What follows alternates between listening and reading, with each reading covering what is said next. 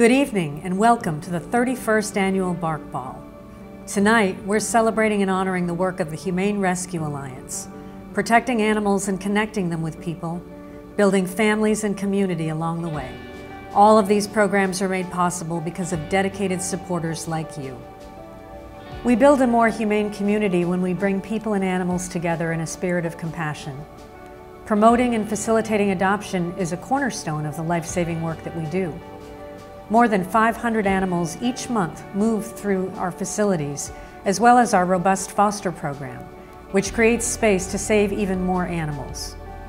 We strive to keep pets in their home through innovative programming such as our HOPE program and our behavior and training professionals, who offer advice and counsel to people whose animals have behavior challenges.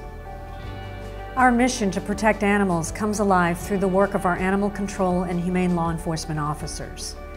HRA's animal control helped 23,500 animals last year, while our humane law enforcement team investigated 2,200 animal cruelty cases.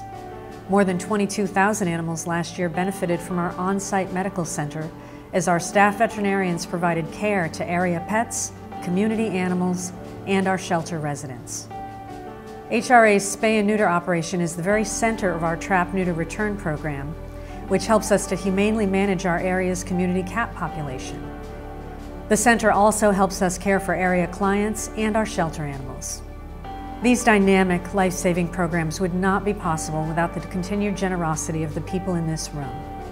The Humane Rescue Alliance tenaciously protects and advocates for the animals in our community, all animals, and supports and celebrates people's love and compassion for them. We are the Humane Rescue Alliance.